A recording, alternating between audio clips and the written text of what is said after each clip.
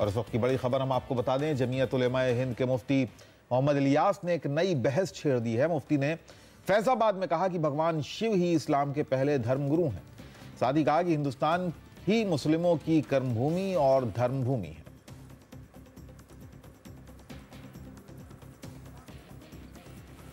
हमारे धर्म का हमारे धर्म की शुरुआत लोग समझते हैं कि हमारा धर्म जो है वो मक्के मदीने से आया है गलत है ये। हमारे धर्म की शुरुआत यहीं हिंदुस्तान से हुई है। शंकर जी लंका में आए थे ये। वो हमारे धर्म के धर- इस्लाम धर्म के सबसे पहले प्रॉफिट हैं। वो हिंदुस्तान में आए थे ये। ये हमारा जन्मभूमि भी है हमारा धर्म भूमि भी है। इसलिए हमको उससे प्यार है। सारे जहाँ से अच्छा है हिंदुस्तान हमारा।